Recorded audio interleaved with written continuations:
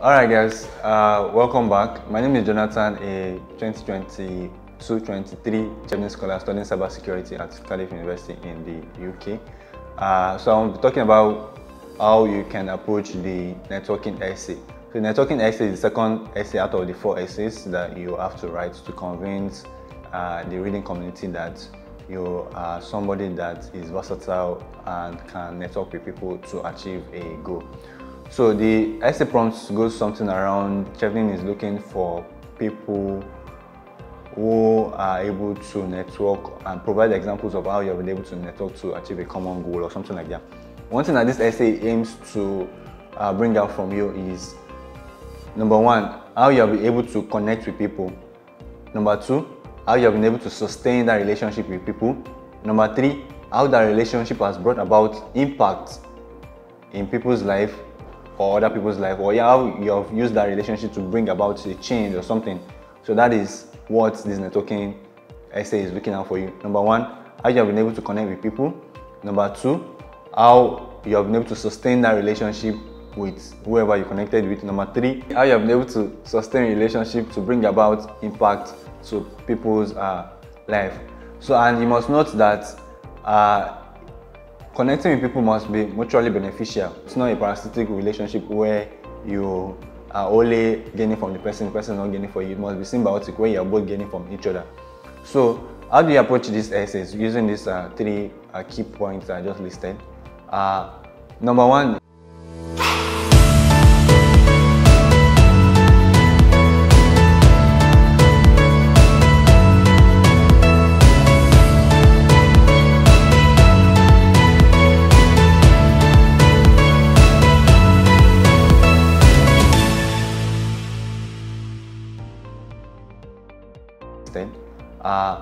number one, you want to do some introspection. Definitely think about the time where you met somebody and meeting that person, I've been able to achieve something from meeting that person. Can be maybe it might not be necessarily immediately you met that person, it might be after months that you met the person that you've been able to achieve something.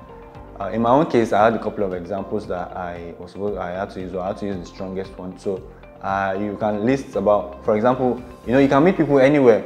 Maybe you attended industry events or in your church or social media or anywhere. You can meet people and okay, you can say, oh, you met somebody on social media and you connected the person and some person sent you their number and all of that. You connected and you know, every month usually you send them uh, happy new month messages and all of that because you know meeting. I said, how have you been able to meet how have you been able to sustain the relationship? So you can meet somebody anywhere, events, church, like I said. How have you been able to sustain the relationship?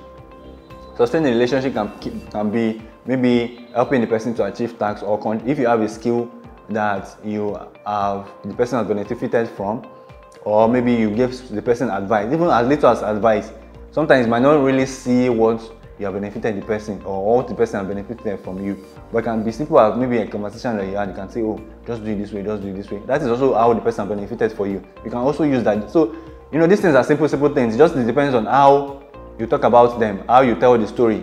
Doesn't have to be something grandiose. Maybe you met the president or you met the minister of information and he did something and he told you did something. Can, you can meet somebody, I can meet uh, you now and say, oh, uh, we just started we talking, connected on WhatsApp and we exchanged numbers, connected on WhatsApp. And maybe you, I saw something on your WhatsApp status that you wanted to do, or something that you needed, or maybe you needed information about getting house and something, and I have a, an agent that, an house agent. I can send the person's contact to you. That's how you have benefited from me. Maybe when I'm doing some, maybe at a later time when I want to do something, I can say, okay, because you have social skills, maybe a graphic designer, uh, can you help us to design graphics, even though I might pay you, how I've been able to benefit from you. Now it's mutual. So you, you tell that story. You met somebody somewhere who is the graphic designer. Uh, the way I did my, uh, so I did uh, one of my examples I used was I met a career development uh, coach at a presentation I made. So we connected and we shared contacts and uh, we keep kept in touch. So it was during our conversation after the presentation I made that I found out that he was a career development uh, coach who coaches people on interviews and uh, tips, yeah, CV writings, cover letters, and all of that. So it was during uh, after we connected that I learned all of this. And was, one time he uh, he also I shared with him that okay, I'm also vast in digital marketing and all of that. So he was like, oh, he wants to launch his book. He wants to he's writing a book. He wants to work on digital uh, on social media to get more sales. So because I am I have a digital marketing skills, I was able to provide free digital marketing consultations for him on how he can position his book. And then you know, I have a platform of people where I usually share uh, opportunities. I have an, an opportunities hub of people where I usually share. So when we are organizing meetup, I invited this, uh, I invited him to come and talk, Mr. Paul, to come and give a career development talk to members of this my platform. So that is like mutually beneficial. And this, this uh, also this uh, Mr. Paul, he also helped me during my interview preparation process. And just from our from from where we met during my presentation, this is like maybe I think a year maybe, or maybe some months, but it might not be as long as that. But as long as you met somebody, you're able to sustain that relationship. Even though sometimes might be happy new month, just send happy new month message, you just keep in touch.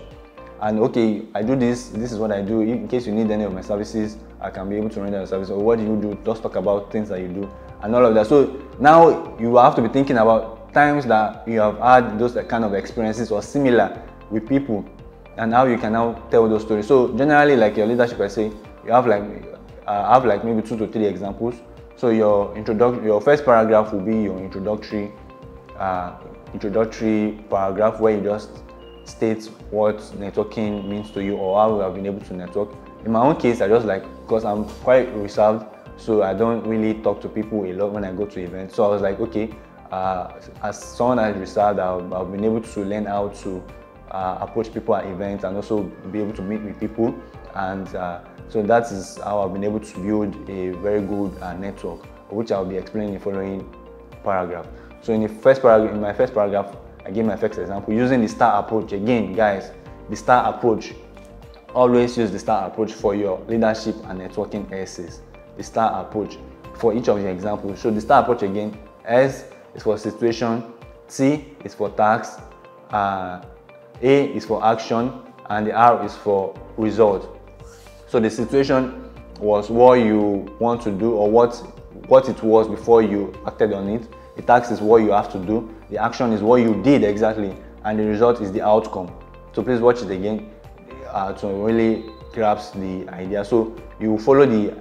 You just it doesn't have to be really. I think one of my examples was just about four lines, and it contains all this stuff. So it doesn't have to be very very long thing that you have to write in one uh, foolscap sheet. So you just I think one of my examples just like four five lines, and it contains all this star approach. I think one I even added L, which is was uh, lessons learned. So it depends. You just make sure that you have this star approach. Now you now have to look at. You now have to be thinking about the. What you now have to do is think about the example. Write the example down. That okay, this example, this is what I want to use. Now, how will you break it down into this situation, uh, task, action, and result? How will you break this example down? So now have to take situation. What was the situation in this example? That I want to give. What was I trying to do? You write it down. You, the task, what you have to do. The action, what you did exactly. And the result, what was the result of, or what was the outcome of what you did. And then the last paragraph would have your conclusion, where you just also relate it back to the Chevening, uh, to the Chevening scholarship, how the Chevening scholarship will help you to network and meet with global leaders who are doing well in different fields from in my case, I said I think I said something around the lines of Chevening Scholarship will give me the opportunity to meet with global leaders, uh, especially uh, who are doing well in different fields, to be able to learn from diverse cultures and diverse things, and be able to integrate and also see how I can contribute to the network. Uh, in fact, I, I, think I said in my uh, last paragraph that I hope to present a paper at the Chevening Summit, which happens in London, because that shows that I've done my research. Because there's usually Chevening Summit every year for uh, selected Chevening scholars. So it shows that I've done my research. I know that there's Chevening Summit, and I know that uh, scholars are allowed the opportunity to present papers. So I told them that I will be presenting a paper on uh, data privacy because I'm studying cybersecurity and data privacy at the Chevening Summit in London and utilize the opportunity, the networking opportunities it will provide. So that's that's just your last paragraph. Maybe two, three lines. That's all. Just close. Just has to be something good, uh, something really good and straight to the point but it must be related to the Chevening scholarship or how the Chevening, how the Chevening scholarship will help you to meet with people, to meet with leaders, to meet with other people in diverse, doing diverse things under the Chevening umbrella. So that is how you should uh, approach the networking uh, essays. I believe if you follow this framework, follow this uh, path, you should be able to come up or flesh out your ideas of in your networking essay. I'll see you in the next video. Thank you.